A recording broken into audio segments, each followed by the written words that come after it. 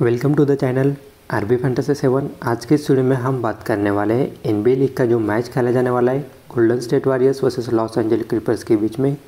Video में आगे बढ़ने से पहले लाइनअप में कोई भी अगर अनएक्सपेक्टेड चेंजेस हुए तो फाइनल टीम और फाइनल अपडेट के लिए टेलीग्राम चैनल ज्वाइन कर लेना। जिसकी लिंक मैंने आपको ऑलरेडी देकर रखी कमेंट बॉक्स में। कुछ नहीं करना है क्लियर लिंक पर क्लिक कर कर आप सीधा सीधा टेलीग्राम चैनल पर ज्वाइन हो जाएँगे। रिसेंटली मैचेस के रिजल्ट्स आप यहाँ पर देख सकते हो। फिर भी अच्छे रिजल्ट्स रहे थे लास्ट दोनों मैचेस के लिए थे, दोनों मैचेस में क्लीन स्वीप रिजल्ट्स रहे थे। लेकिन फिर भी मैं कहूँगा कि ये वीडियो बस यहाँ पर एक लर्निंग पर्पज़ से बनाया गया है।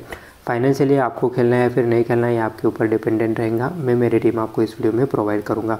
और प्लस मैं आपको इस वीडियो में लाइनअप भी प्रोवाइड करूँगा, जहाँ पर आप दोनों टीम की तरफ़ से स्टार्टर कितना टाइम खेल सकते हैं और बेंच प्लेयर कितना टाइम खेल सकते हैं, ये आपको पता चलेगा। सीधा सीधा आप रोटो वायर पर आपको एक टीम की लाइनअप मिल जाएँगी। लॉस एंजल क्लिपर्स यहाँ पर देख सकते हो आप स्टार्टर और जो बेंच प्लेयर है वो कितना टाइम खेलेंगे। लेकिन अगर यहाँ पर आपको गोल्डन स्टेट वॉरियर्स के प्रोजेक्टेड मिनट्स अगर देखना है तो उसके लिए आपको प्रीमियम पेड करना पड़ेगा। जो प्रीमियम मैंने ऑलरेडी पेड किया तो आपको पेड करने की ज़रूरत नहीं। फ्री में आप यहाँ पर ये लाइनअप देख सकते हो। यहाँ पर इसका स्क्रीनशॉट भी निकाल कर ले लेना। जूम इन कर कर भी मैंने आपको दिखाया ये स्क्रीनशॉट आप ले सकते हो और इस एफर्ट के लिए एक लाइक तो बनता है। फ्री में आपको ये मिल रहा है तो उसके लिए एक यहाँ पर लाइक ज़रूर कर देना। बात करेंगे आज के मैचेस के बारे में। सबसे पहले दोनों टीम में कंपैरिजन अगर कंपैरिजन करेंगे दोनों टीम के बीच में गोल्डन स्टेट वॉरियर्स बहुत ज़्यादा स्ट्रॉन्ग टीम है एज़ कंपेयर टू यहाँ पर लॉस एंजल क्लिपर्स क्योंकि ये टीम ऑल यूनिट इनका यहाँ पर डिफेंस स्ट्रॉन्ग है और सबसे जो स्ट्रॉन्ग है इनका offence strength three point two shooter इनके पास बहुत है। तो इजीली यहाँ पर ये मैच आज का मैच आपको गोल्डन स्टेट वॉरियर्स विन करते हुए देखने को मिल सकती है। लॉस एंजल क्लिपर्स अच्छी टीम है, लेकिन इतनी अच्छी नहीं कि गोल्डन स्टेट वॉरियर्स को हरा सके। इवन ये टीम अपने होम में खेले। दोनों टीम की तरफ़ से लाइनअप के बारे में अगर बात करें तो लॉस एंजल क्लिपर्स की तरफ़ से सेम लाइनअप आपको देखने को मिलेंगे। कोई न्यू इंजरी अपडेट्स नहीं। है अभी भी इनके जो मेन प्लेयर है लियोनार्ड ये फ़िलहाल अवेलेबल नहीं है तो उनकी जगह पर जो ऑफेंसिव स्ट्रेंथ रहेंगी, वो रहेंगी जेम्स हार्डन और उसी के साथ साथ यहाँ पर पोवेल इन दोनों प्लेयर के ऊपर फोकस रख लेना। जब तक लियोनार आते नहीं, तब तक इन दोनों प्लेयर का रोल ऑफेंस में बहुत ज़्यादा इंपॉर्टेंट रहेगा। और थर्ड जो इंपॉर्टेंट प्लेयर है, वो है यहाँ पर जुबैक इन तीनों के इर्द गिर्द यहाँ पर पिछले दोनों मैचेस में ये टीम चली है तो यहाँ पर स्मॉल लीग के लिए ये तीनों प्लेयर आपके लिए बहुत ज़्यादा इंपॉर्टेंट रहेंगे, जो कि स्टार्ट करेंगे। जुबैक का परफॉर्मेंस देख सकते हो पॉइंट रिवॉर्ड दोनों से आया था जेम्स हार्डन ने परफॉर्मेंस दिया था, और सबसे अच्छा परफॉर्मेंस जो आया था लास्ट मैचेस में वो आया था शूटिंग से पोवेल का। इन्हीं के चलते यहाँ पर ये लास्ट मैच विन किया था।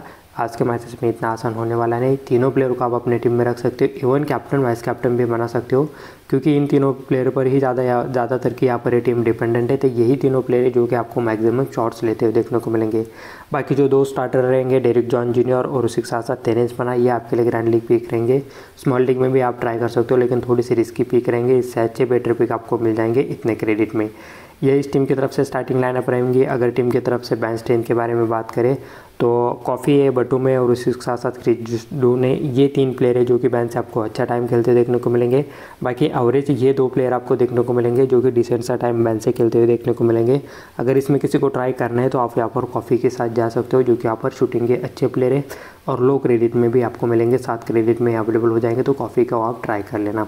ये हुआ लॉस एंजल क्लिपर्स की तरफ़ से स्टार्टिंग लाइनअप और bench strength Golden State Warriors की तरफ़ से स्टार्टिंग लाइनअप के बारे में अगर बात करें तो same starting lineup Stephen Curry start करते हुए देखने को मिलेंगे point guard shooting guard position से एंड्रू बिगिन स्टार्ट करते हुए देखने को मिलेंगे। स्मॉल फॉरवर्ड पोजीशन से कुमिंगा पावर फॉरवर्ड पोजीशन से डिग्रीन और सेंटर पोजीशन से स्टार्ट करेंगे जैक्सन जूनियर जैक्सन डेविस ये इस टीम की तरफ़ से स्टार्टिंग लाइनअप है। ओवरऑल अगर टीम में स्टार्टिंग लाइनअप देखेंगे तो यहाँ पर गार्ड पोजीशन वाले, यानी जो अच्छे शूटर है, वो यहाँ पर करी और Andrew Wiggins small forward position और पावर फॉरवर्ड पोजीशन इनकी स्ट्रॉन्ग है डिग्रीन और कोमिंगा आपको खेलते देखने को मिलेंगे और सेंटर पोजीशन से टेरिन टेरिन जैक्सन ये आपको खेलते देखने को मिलेंगे। ओवरऑल इस लाइनअप में यहाँ पर होता क्या है ऑफेंस इनका बहुत स्ट्रॉन्ग है स्टार्टिंग लाइनअप में। करिए एड्रोविगन से, उसके बाद कोमिंगा अच्छी है यहाँ पर, लेकिन यहाँ पर डिग्रीन जो है तो वो यहाँ पर गेम को चलाते हैं। असिस्ट पॉइंट रिबाउंड तीनों सेक्शन से परफॉर्मेंस आपको देते हुए देखने को मिलेंगे। उसके बाद जो सेंटर है, ये थोड़ी सी यहाँ पर इनकी वीकनेस है। तो ये करते क्या है? जब जब यहाँ पर ये शूटिंग में थोड़ा सा पीछे चलते हैं तो यहाँ पर इस प्लेयर को सब्सिट्यूट कर कर ये बैन से इनके बेस्ट प्लेयर बड़ी हिट जैसे प्लेयर या फिर आप कह सकते हो ब्रांडन जैसे प्लेयर इनको यहाँ पर ये लाते हैं, जो कि ऑफेंसिवली स्ट्रॉन्ग प्लेयर है और डिफेंस भी अच्छा कर लेते हैं। तो बाकी इस प्लेयर को कम टाइम मिलने के रीज़न ये है कि यहाँ पर इनके पास ऑलरेडी दो अच्छे डिफेंसिव प्लेयर है स्टार्टिंग लाइनअप में। कुमिंगा और डिग्रीन इनका डिफेंस अच्छा है, जो कि फ्रंट कोर्ट से खेलते हैं। उसके बाद ये थोड़ा सा यहाँ पर अपनी शूटिंग स्ट्रेंथ को बढ़ाते हैं, जिसमें से यहाँ पर ब्रांडिंग को लाते हैं, बड़ी हीड को ला लेते तो ये दोनों इस प्लेयर की, ये ये दोनों इस टीम की अच्छी यहाँ पर बेंच प्लेयर है और दोनों को आप ग्रैंड लीग में ट्राई कर सकते हो। स्मॉल लीग के लिए करिए एक अच्छी पिक रहेंगे एड्रू विंगर्स बहुत अच्छी पिक लग रही है। इवन लास्ट मैचेस में, दोनों मैचेस में परफॉर्मेंस आया था। जोनाथन कोमिंगा पिछले दोनों मैचेस में परफॉर्मेंस आया नहीं। प्लेयर स्टार लेवल का प्लेयर है अपकमिंग स्टार प्लेयर है। और इसको यहाँ पर आप आज के मैचेस में लेने का रिस्क ले सकते हो, क्योंकि दोनों पिछले मैचेस में परफॉर्मेंस आया नहीं। इस प्लेयर की तरफ़ से परफॉर्मेंस आता हुआ आपको देखने को मिलेगा। डिग्रीन डिफेंसिवली बहुत अच्छा परफॉर्मेंस आता है। पॉइंट रिबाउंड असिस्ट तीनों सेक्शन से जब जब भी यहाँ पर ये अवेलेबल रहेंगे कोर्ट पर, तब तो आपको परफॉर्मेंस देते देखने को मिलेंगे। दोनों के क्रेडिट थोड़े से हाई टेरिंग जाइट जूनियर एज ए क्रेडिट से और आप ट्राई कर सकते हो। टाइम थोड़ा सा कम मिलता है, लेकिन कभी कभी इतने टाइम में भी बहुत अच्छा परफॉर्मेंस लेकर चले जाते हैं। ओवरऑल अगर आपको किसी को ट्राई ही करना है बैंड से तो दो बहुत अच्छी पिक है जो कि यहाँ पर ब्रांडन और बड़ी ही दोनों टेन टेन क्रेडिट के प्लेयर है, लेकिन परफॉर्मेंस भी उस लेवल का है। उसके बाद काइली एंडरसन इस प्लेयर का भी कुछ मैचेस में परफॉर्मेंस आया पिछले दोनों मैचेस में। मोर देन ट्वेंटी पॉइंट हर एक मैचेस में यहाँ पर इन्होंने दिए फंटासी पॉइंट तो यहाँ पर इनको भी आप अपने टीम में रख सकते हो।